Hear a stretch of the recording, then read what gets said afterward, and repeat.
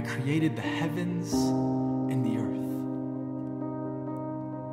I took what was formless and empty. I stepped onto the blank canvas of darkness and with four words altered the future of creation itself. Let there be light. From there, the creation story was born. I took what was empty and shapeless and gave it form. As I put pen to creation, it all started to come together. Day and night, sea and sky, I'm the originator of weather. From the ground, I brought vegetation, food for nourishment. My creativity blossomed as I matched seed to tree and tree to seed. Wondrous foods of all kinds came to be. Next came the stars, In unison, we created Father, Spirit, and Son. Four days of creating, but I'm not done yet. Creation is coming together, but something's missing. A new level of creating begins. Living creatures that inhabit the sea and sky, I bring to life. Be fruitful and multiply, I say. This, all of this brings warmth to me. The creative genius within me begins to teem. My head starts to spin. The possibility, the opportunity. Now we can really begin. I step back for a moment to marvel at my canvas. It's all good, I say, and yet the feeling of incomplete still haunts me. I can hardly stand this. We're in unison that something's missing. So I bring forth the deepest part of my creative being and conceive my prized possession. Did you not know? Consider this an honest confession, because that day from the dust of ground, humankind came to pass. Adam and Eve were formed, and now it's very good at last. With my very breath, I breathe life into me. I've never loved anything more. See the nails in my son's hands to prove that that's true. From the very genesis of creation, intimacy and relationship has been what I seek.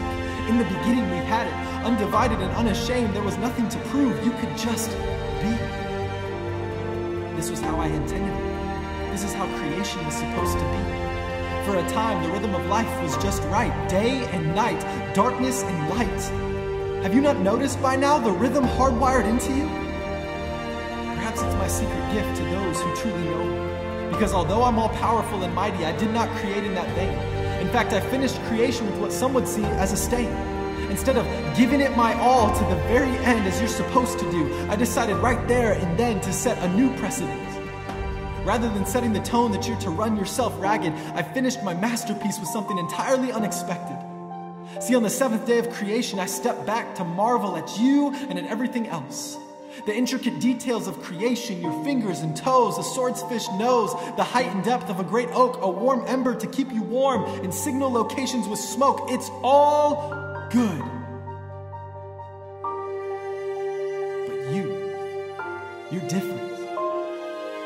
You were created in my image, in my likeness, a chosen people to co rule and co reign with me. It's your birthright. It started that night when creation came to be. So now, my child, take up your throne. No matter your mistakes, receive your ring and robe.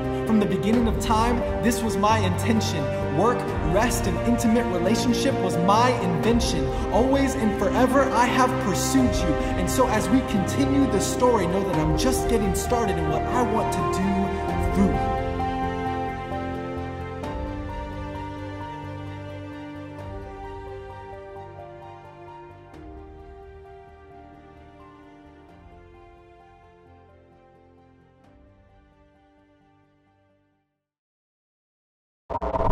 Hey guys, thanks so much for checking out our YouTube channel.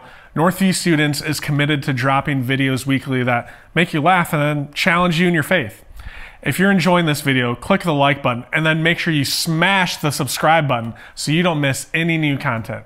Thanks again for watching. We'll see you later.